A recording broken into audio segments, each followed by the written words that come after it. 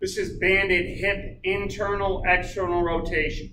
So we get the band just below, above our knees to start. All right, you can certainly play with where the band is on your legs. All right, and it might change where you feel it.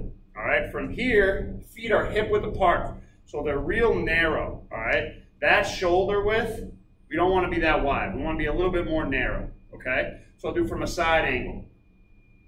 All right, I'm to sit my hips back like I'm in an RDL position. I might feel a little stretch here when I do so. Okay, hands are on the side of my butt cheeks.